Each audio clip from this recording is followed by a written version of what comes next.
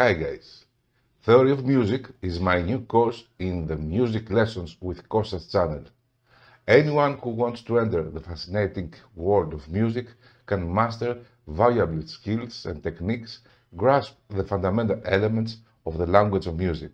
Everyone who wants to understand the fundamentals of music theory better will benefit from this course. We will analyze in depth three main subjects note theory, main theory, and harmony elements.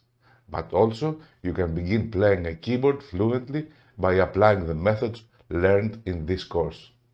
Music is a straightforward language that is based on simple logic.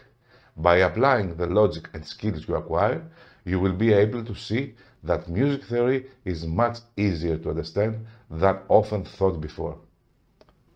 The tutorial videos can be followed along with the piano keys, allowing you to learn piano playing elements. By completing this course, you will have stronger knowledge that will give you the confidence to learn faster and play the piano better. This course is available to everyone that wanted to learn music at one point in your life, but you did not, and the desire to master it is still there. It's never too late to play music.